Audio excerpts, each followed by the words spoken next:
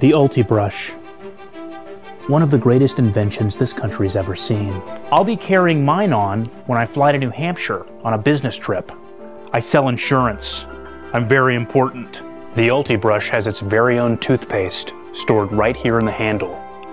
A button releases the paste to delicately lie along the bristles. The floss is right here in the bottom, along with a favorable mirror, in which I always look stunning. It's a new day, people. I'm a modern man. I'm on the go. Even Augustus has one.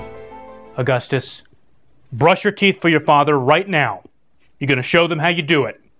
Right now! Visit our Kickstarter page to see the family that created the UltiBrush and get a brush of your own for 12 bucks. Bad boy. Nine years old, ladies and gentlemen.